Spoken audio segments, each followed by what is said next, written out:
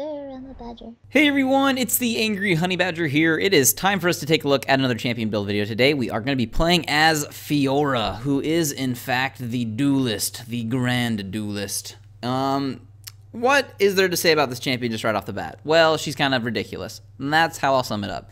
Um, we're going to go ahead and talk about her runes, her masteries, her items, and her abilities today in this build, and uh, kind of just a general preview and my knowledge on Fiora, who I actually do like a lot as a champion. Um, we'll talk about how that doesn't make sense as a concept, too, because she's kind of worthless in a lot of ways and kind of amazing in some other really stupid ways. So we're going to talk about that today while we go over this build. So let's go ahead and start off with her abilities so we know what we're talking about, so we know Fiora's kit better. So starting off with her passive, we have it, which is called Duelist. Now what happens here is Fiora is going to regenerate some health over the next 6 seconds when she deals physical damage while striking a target. This can stack up to 4 times. Basically, as you standard attack, your health regeneration is increased, which is actually decent while sustaining yourself in lane, or if you're going to jungler, which she can kind of do, although her ganks really aren't that amazing, but it's something you can still do.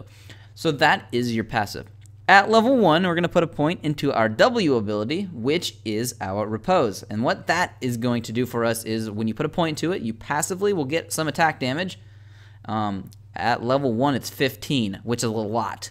And then when you activate this item, what happens is your next basic attack that they do to you will be reflected back at them. It'll deal some magic damage back at the attacker. Um, it works on monsters, large ones, the creeps. So that's why you can also use it in the jungle. So that is your W. We're going to max it out. I like maxing it out first because the more damage you have, the more ridiculous you become. And the reason I like to max this out first is because when you get to level 5 with it, you have 35 extra attack damage also shorter cooldown on it.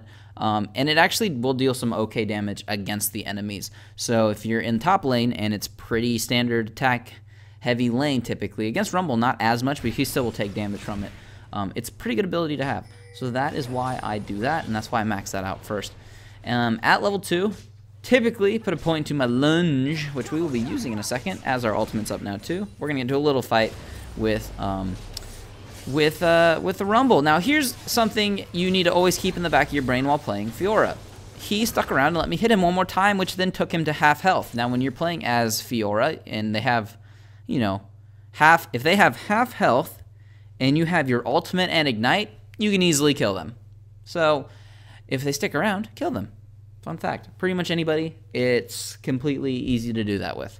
So, at level 2, we put a point into our Q ability. Back to that, that's our lunge. What happens, you're going to dash forward and strike your target. You're going to deal damage to them. It will be physical damage. You can perform the dash a second time within a couple seconds at no extra mana cost, just the initial cost. So um, kind of like two dashes. So you can lunge to them, and then if they flash, hopefully you can get within range and you can lunge back to them.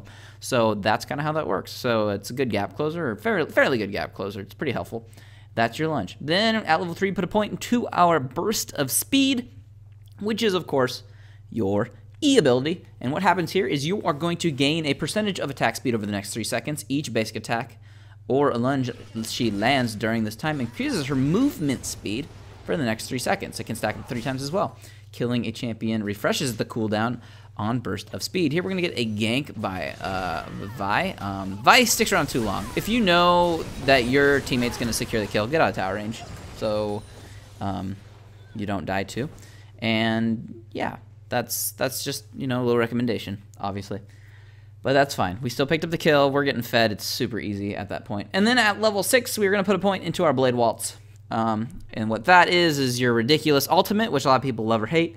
It is going to allow Fiora to dash around on the battlefield to strike random enemies up to five times. It will deal damage. Um, scales from uh, physical damage, and it does physical damage as well. Each successive strike against the same champion, though, is going to deal 25% less damage up to a maximum minimum amount. Each strike applies on hit effects, which is why we built the Tiamat first as our first essential in lane item. It's going to actually help us shove the waves down, which will prevent them from farming well under their turret. Um, you got to be careful about that, so you got to make sure you keep your river warded or wherever, so you're not getting ganked as much, because you'll push quick with a Tiamat.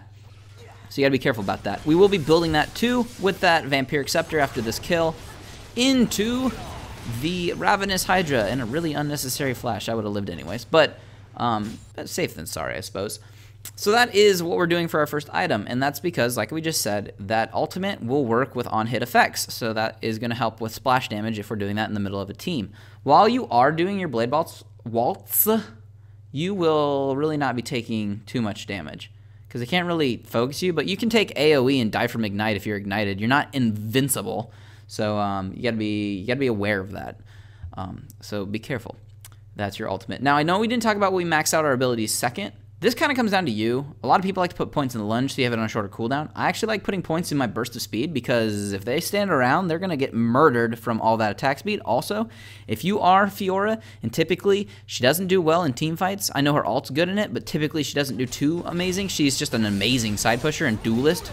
Um, here we're going to find two of them. We're just going to focus on um, them. Now the ultimate has come up, so we're actually going to use that and turn this fight around and just murder Vi. So you have tons of attack damage. You can murder anyone. Also, we are a little bit ahead now, but Fiora is. I mean, like, it's so stupid to say this over and over. She's the Grand Duelist. Like, she's so good in 1v1s. She can just murder lane opponents um, if she is played well. There's a few people that kind of counter her. Jax does decent just because he's got a dodge stun. And I mean, it's, mm, I mean, that's helpful, but like, if you bait that out, then he's screwed as long if he doesn't have tons of damage yet. Um, but that early level one that you use on her in lane, you have to be super, super careful of. Because if, if you do what I do when I play Fiora, if you put a point into that W at level 1, if you put a point into that and you get that extra attack damage, and then you bring a Doran's Blade and you have attack damage uh, marks and you have attack damage quintessences, you have over 105 attack damage at level 1. You can 3 hit people and then use your riposte, and then they hit you once and you'll just murder through people. It's just stupid. It's so much damage. I love it. Time to ride a lantern. Woo! All right. She just hurts. So that's why I like her. It's it's just it's just stupid. But once again, what counters Fiora in the uh, other aspect is any crowd control at all, which is a huge pain.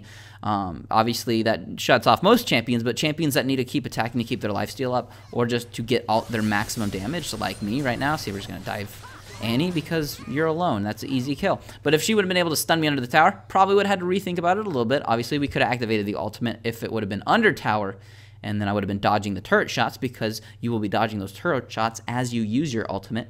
So you need to remember that too. So you can kind of dive safely. Obviously, once you're done with your ult and you're under the tower, it will refocus upon you because you just deal damage to the champion.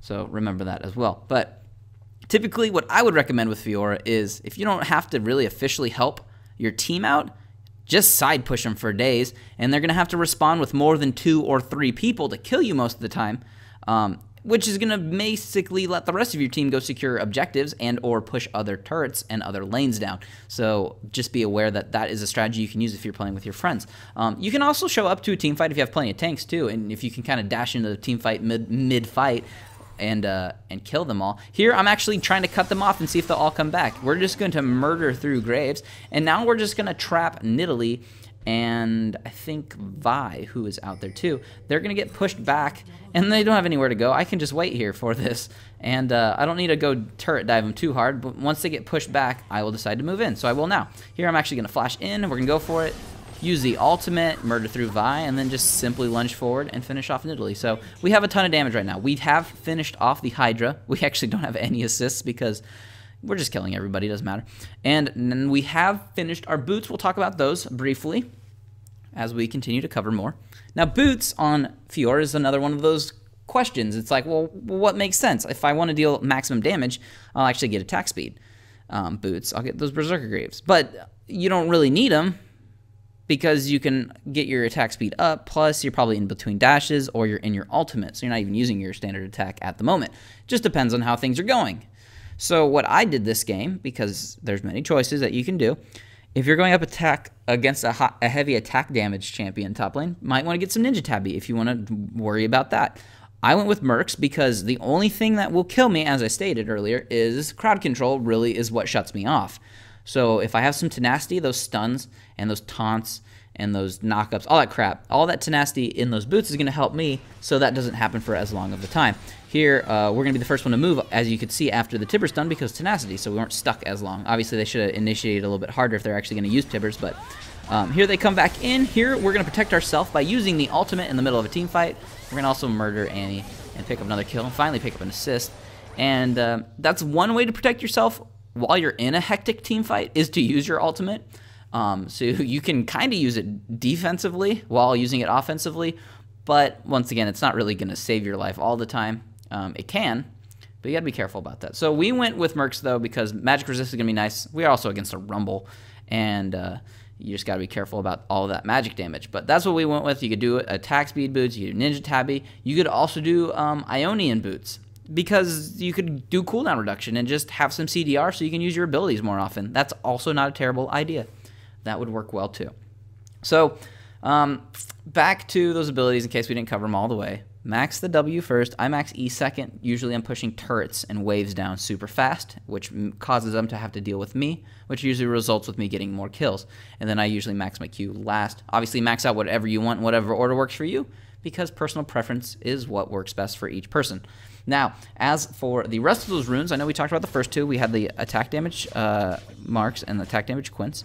And then we had the, uh, I think now, since we're switching things up, actually she has sustain, so how would we do this now? I know they changed the seals. I would either do armor seals or health seals. Both of them are helpful in different ways. Uh, I'll hopefully cover this in a video soon if you haven't seen it. Here, we're going to find the whole team. And there's that crowd control finally that's going to shut us off. Also, we have no ultimate, so we can't protect ourselves in that way. And uh, we will finally die. Which happens. That's fine.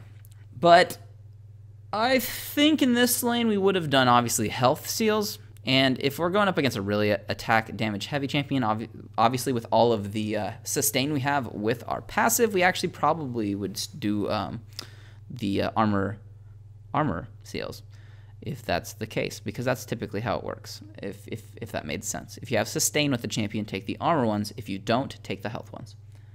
And um, as for those uh, glyphs, we're going to go ahead and take magic resist per level because they are awesome and they're even better now.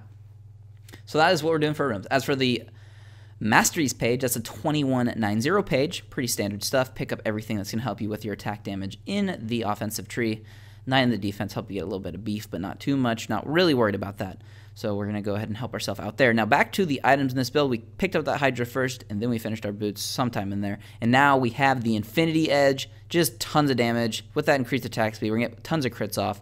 Now we've picked up a little bit more crit chance and movement speed. And then um, the Sheen, which is now part of our Trinity Force. Which also does give us a little bit of health, which is kind of helpful to have a tiny bit. Um, here we're going to just dive in and murder Graves off. Time to use an ultimate, pick up the double kill, and then finally pick up the triple kill on somebody. I don't even know. Rumble. So, and we effectively didn't take any damage because tons of lifesteal and the passive and murder. So that is kind of the deal with Fiora. Um, did we cover everything? I think we mostly covered everything. So mostly, if you want to know anything about Fiora, let's talk a little bit about counterplay or just Fiora in general. Like I said, we try to push the side lanes. Super easy, super helpful. We also farm quite well, as we can see, because um, it's not too tough. Actually, we're going to killed here because we get left out by our team. Do we secure this Baron? We murder Baron with Vi, and then Vi leaves me, and then I die. Yeah, that's what that's that's right. I remember that. Um But yes. Yes. Oh, the Trinity Force, by the way, with the Sheen proc, with all the attack damage. If if if you're wondering, yeah, that's that's why tons of damage. I know we don't use abilities tons over and over, but in between your Q dashes, obviously the activations of the W and the E and the ultimate will proc that off. And uh, you get to do that pretty hardcore in a fight. So you'll get to murder through people. Now, if you're playing against Fiora, ask for ganks. You don't try to fight her one on one. It's not that easy, depending on who you're playing or how fed they are or aren't. But the other thing I would say is I have killed myself as Fiora on Thornmail. Thornmail will completely shut her off because typically Fioras don't build super beefy. I know some people will say get a frozen mallet. You can. The health's good and the slow's not terrible. Um, it's not completely necessary. I don't build it typically, but you can if you want. Um, but even so, she's going to be hurting herself with so much attack damage. We have 414 attack damage right now, and we don't have Baron, so that would be another 40. We did just finish off a Last Whisper just to burn through their armor. Um, your next item could be a Guardian Angel or that Frozen Mallet, so that kind of comes down to personal preference. Typically, if you're doing this well in the game, you're just going to murder through people and end the game. So, there's another kill, whatever. But that is going to be the Fiora build. There's everything you need to know is down in the description too. But it's just Just get those first two items and make sure you win your lane and just shove and you're going to do fine. Problem about a Fiora build, to be honest, you could honestly just get ahead and almost build anything. She just does that much damage. So that's Fiora. If you have any questions, put them down below. But I'll just see all of you guys next time in the next build video. Oh god, there's nothing protecting you. Why are you here? Oh god. Oh, red buff kill. Um, if there isn't a minion between you and Nidalee, just be prepared to dodge or run away. You have to do that, or else you're going to die.